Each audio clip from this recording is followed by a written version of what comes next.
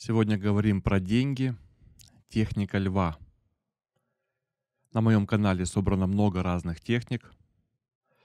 Суть всех техник сводится к силе воображения, к состоянию, к состоянию. Давайте я напомню вам несколько техник, а, которые создают необходимое состояние внутри, в сознании, для того, чтобы создавать деньги в своей жизни – примеру, техника свободы от долгов на 2 часа. Пишешь на листке бумаги долги, откладываешь с 17 до 19 долги в стол, и 2 часа ты без долгов. Дело в том, что ты не можешь создавать деньги, находясь в долгах, в состоянии должника, в замкнутом таком тяжелом внутреннем состоянии. Ты не можешь создавать деньги. А когда ты освобождаешься от долгов на два часа, ты можешь в этом классном новом состоянии попить чай, поговорить с женой, пойти погулять, лечь спать, кино посмотреть. Сейчас два часа ты никому ничего не должен. Прикольное состояние. Оно очень-очень помогает создавать деньги в легкости и в радости. Кстати, я убежден, что деньги приходят в мою жизнь легко и приятно. Деньги создаются легко и приятно. Если с, э, с вопросом легко, с убеждением легко, есть вопросы, и об этом мы говорим много на моих видео, в моих видео, на моем канале, в Телеграме, то по поводу приятно все очень просто. Если ты работаешь и тебе неприятно, не работай. Работай только там и так, чтобы тебе было приятно. Мне нравится. Если тебе нравится то, что ты делаешь, это классно. Если ты работаешь, зарабатываешь деньги, но при этом тебе неприятно, ты делаешь что-то не то однозначно ты делаешь что-то не то. Классическая техника «хотеть мне никто не запрещает». У тебя нет ресурсов, нет денег, нет возможности, нет времени, связи, контактов, но ты разрешаешь себе в мыслях, в идее, в голове разрешаешь себе что-то, что для тебя невозможно, нереально. Но хотеть мне никто не запрещает. Ты можешь просто, засыпая перед сном, хотеть. Классическая техника «будьте как дети», уберите важность, играйте в эту жизнь, находитесь в легкости, в состоянии. Техник много, и люди говорят, да нифига ваши техники не работают. Да и не важно работают или не работают. Ты выбираешь, как тебе жить, как тебе суетиться, переживать, волноваться, находиться в состоянии того, что как решать проблемы, а можно относиться к этим же проблемам и состоянии детской игры. Я не знаю, как это получится, но я точно знаю, что это интересная игра, я в нее играю. Другое состояние. Представляешь, из другого состояния ты начинаешь замечать по-другому, как устраивается все вокруг, как реальность меняется, как то, что реальность не такая уж настоящая. Все в твоей голове. Это очень прикольно. Техники, всякие разные техники, разные способы быть с деньгами, быть в деньгах, быть в игре, в иллюзии – в легкости, из какого состояния жить. Много разных техник. Так вот, по воскресеньям я провожу прямые эфиры в Телеграм. Бесплатные прямые эфиры каждое воскресенье на протяжении уже больше, чем год. Провожу каждую неделю, воскресенье в 11 часов, прямые эфиры, где мы общаемся с людьми. Просто люди включаются, говорят, Володь, привет, привет. Обычно на 150, 200, 300 человек мы Просто проводим полтора часа в хорошем, приятном состоянии. Включаем камеры, видим друг друга, разговариваем. Не обязательно вопросы задавать, можно просто поделиться своим состоянием. Я замечал, что очень часто наши прямые эфиры, они как кружева. Каждая история наших участников, она создает а, продолжение, как завязка, потом содержание, потом развязка какой-то общей истории. У каждого эфира есть своя история. Мы недавно создали канал, мой сотрудник создал канал э, «Прямые эфиры Владимира Беляева», и туда на канал выгружает наши прямые эфиры. Прошлые, новые, все. Пока разместил, по-моему, 7 или 8 эфиров. Но думаю, что я сегодня все-таки Лаврону напишу лично. Скажу, пускай загружает все, которые у нас есть эфиры. Пускай будут. Раз у нас есть канал с бесплатными эфирами, пускай будут. Хотите, подпишитесь на канал, поприсутствуйте, походите по прошлым эфирам, посмотрите, как это бывает интересно. И вот э, в, в последнее воскресенье, в крайнее воскресенье, э, вышел в эфир Лев, классное имя, Лев, из Краснодара молодой мужчина, и поделился своими инсайтами. Его прет, он горит, его наполняет энергия. Мне хорошо знакомо это состояние, классное, когда тебя инсайты, инсайты, инсайты. Ты не понимаешь, откуда приходят знания, но ты разрешаешь своей фантазии, чтобы знания приходили, они прилетают, прилетают, прилетают, все новые, новые знания. И вот Лев поделился, он говорит, я буквально пять дней в этой подключке, мне очень нравится все, что происходит, мне очень нравятся все эти новые мысли, которые прилетают в мое сознание, и он поделился несколькими своими историями. Я сейчас вот э, закончу говорить и добавлю отрывок видео э, выступления Льва. Я вырезал очень длинное у него было выступление, минут 15-20 он говорил. Я вырезал буквально минутки три. Покажу вам, посмотрите просто на льва, на его глаза, на его состояние, на его идеи, рассказы, на то, что, чем он хочет поделиться с нами. И послушайте, мне я некоторые моменты вырезал для того, чтобы показать. А вообще оставлю ссылку, наверное, в описании к этому видео. Перейдите на этот эфир – на запись этого эфира. Заодно можете подписаться на канал с эфирами и посмотреть полностью это выступление, где Лев делится своими инсайтами. Там он поделился классной историей, как он осознал себя в моменте и понял, что ему часы не нужны.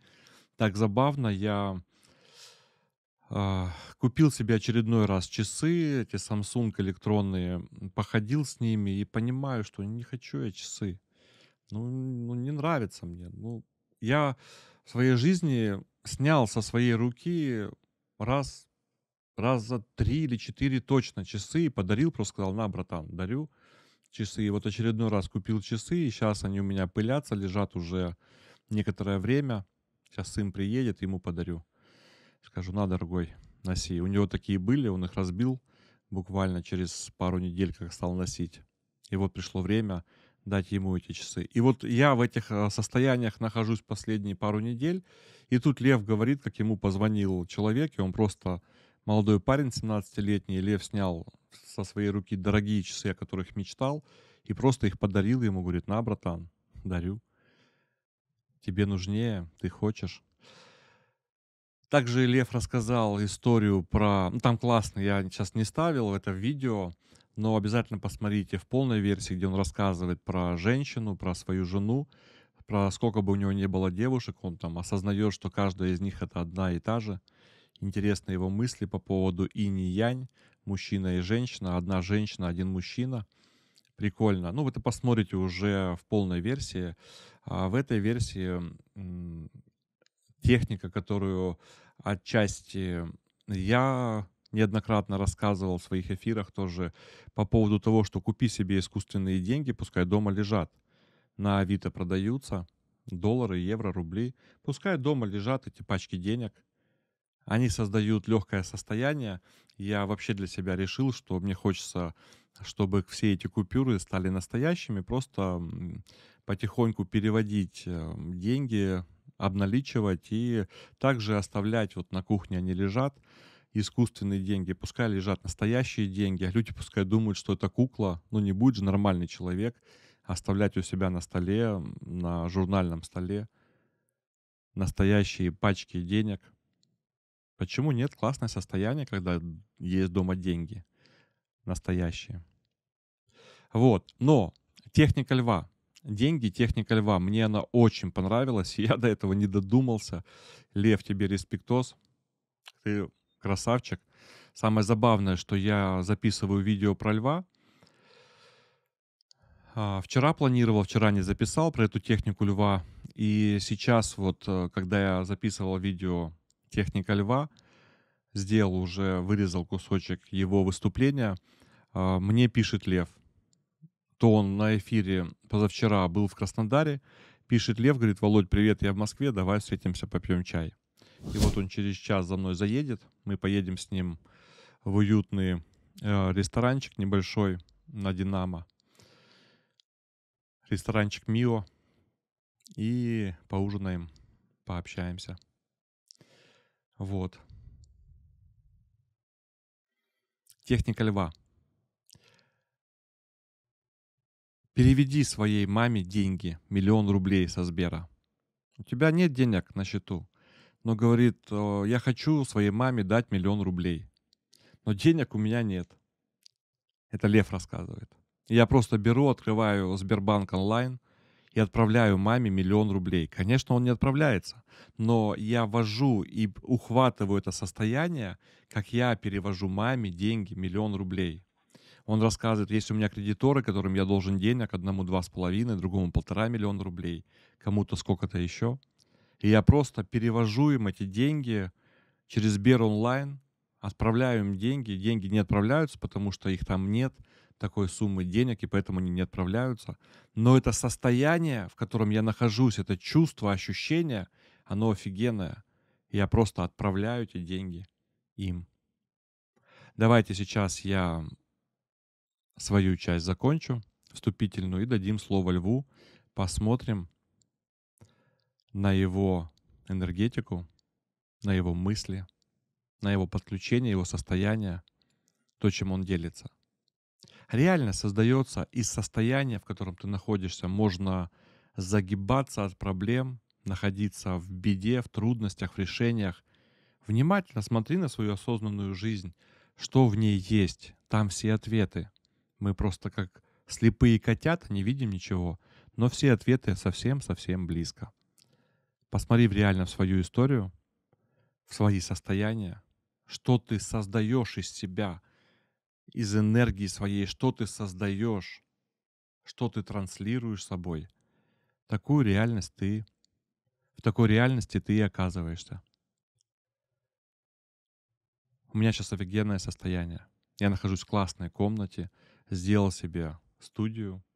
В моем понимании студия, ну, такие вот стены, Свет, хорошая камера, микрофон. Можно творить, общаться, создавать. Много контента в хорошем, классном расположении духа, в легкости, в состоянии, в радости.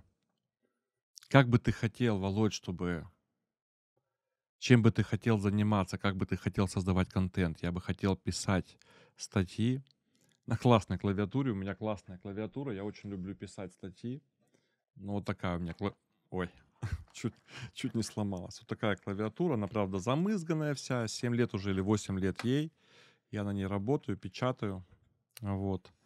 Я хотел бы писать статьи на большом мониторе, на удобном кресле, выражать свои мысли, идеи. Хотел бы получать за это деньги. Хотел бы записывать видео на офигенную классную камеру, на самую лучшую в мире камеру – на Sony Alpha 7. И их версии разные. Я люблю эти камеры. Я счастлив, что они у меня есть. Записывать видео, писать статьи, общаться с людьми, проводить сессии. Я все это люблю, это, я это делаю. И мое состояние формирует реальность, в которой я живу. Идеи, которые я могу высказывать. Кстати, пришло время запускать Мечтамус, сайт. Наверное, в воскресенье в это соберу людей, проведем мастер-группу такую, пообщаемся о Мечтамусе, о сайте Мечтамус, о проекте, который меняет финансовое мышление всего мира, отношение к деньгам во всем мире меняет, где мы можем быть Робинзоном Круза, который сеет семя, которое у него сейчас есть, соединяясь с почвой, давая свои деньги в жизнь другого человека. Ладно, даю слово Льву, а сам записываю для вас следующее видео.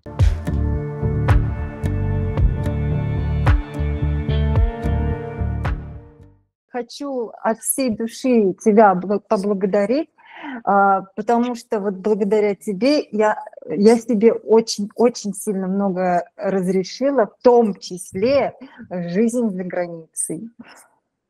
Классно, кайф. Учусь у тебя.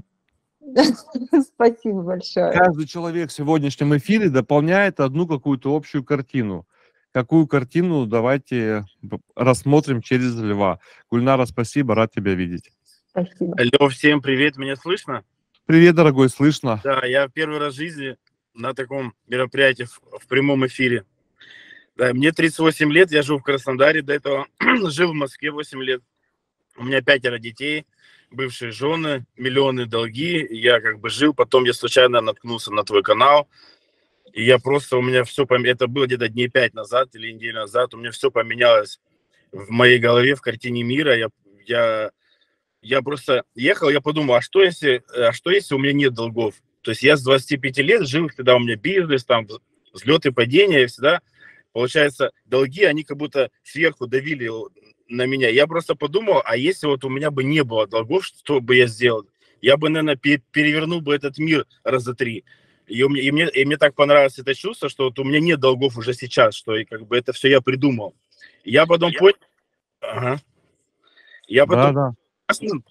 начал все это применять в жизни, я понял, что все, что как, ну, все твои слова, то, что ты говоришь, что весь мир для меня, я потом думаю, если я все это придумал, есть и время. Я понял, что время – это просто цифры, время – это придумали, чтобы люди оставались в матрице, что времени нет. Я взял свои часы, новые, дорогие, я всю жизнь о них мечтал, взял, взял их, просто подарил, кто мне первый позвонил. Там 17-летний мальчик, он счастлив был безумно. И теперь я начал типа, по осознанности все отслеживать. То есть можно все придумать вообще очень легко.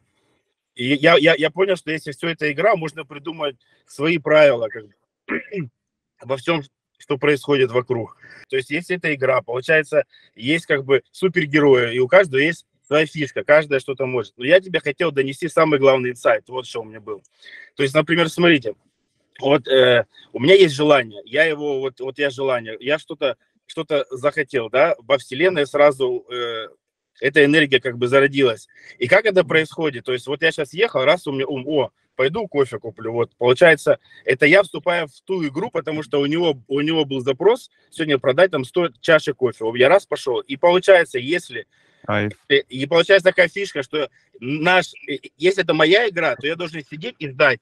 Все, что я подумал, ум, это я включаю в чужие игры. А если вы хотите играть в свою игру, просто ждите. Раз позвонила, например, мне позвонила бывшая девушка, да я был в жизни с ней, а она мне позвонила, она включилась в мою игру, через нее я получу подсказку. Я, я с ней разговариваю, вообще, привет, я говорю, я тебя люблю безумно. Я, она что такое-то, я понимаю, что это какая-то подсказка, что мне делать дальше, что делать дальше. То есть через других людей, которые сами приходят, я самым коротким путем дойду, короче, к своему спальне, к своей цели. А у меня, было, а у меня был э, такой блок, что я пока сам не заработаю миллион долларов, я не имею права людям, короче, рассказывать. И представляете, где я сейчас стою? Просто вот это до смешного. Вот там этот э, пункт выдачи Яндекс. Я себе заказал миллион долларов, типа, искусственные, типа, неделю назад, и их не забирал. И не понимал, почему я их я их не забираю, короче. А я решил их положить дома, и чтобы мое подсознание уже привыкало, что это мои деньги. Я себе купил гелик такой игрушечный, чтобы подсознание, я играю с ним, подхожу, как будто это мой, короче. Я понял такую фишку, как вот, я знаю, что типа как э, раскрывать людей, например, возьмите, вот возьмите, например, э, Кого вы любите? Маму любите, например, да. Вот, например, первый миллион я посвящаю своей маме. Вот прям открывайте Сбербанк онлайн, берите маму, клиенту и просто дадите сумму миллион рублей и отсылайте. Она не, не, не отошлется, но по сознанию увидит эту цифру миллион рублей, что вы позволили себе. Это вот у меня такая фишка была. Я вчера эту девочке своей сказал, открою Сбербанк и маме миллион рублей пересылаю, например, раз. А я, а я кому должен, например, я там должен 2 миллиона, полтора миллиона. Я просто открыл Сбербанк и начал им переводить эти 2 миллиона. Они не переводились, но мое подсознание уже привыкло, что, короче, они как будто вот, ну, я понял, может быть, это так проиграется. То есть я уже не парюсь, что я там должен.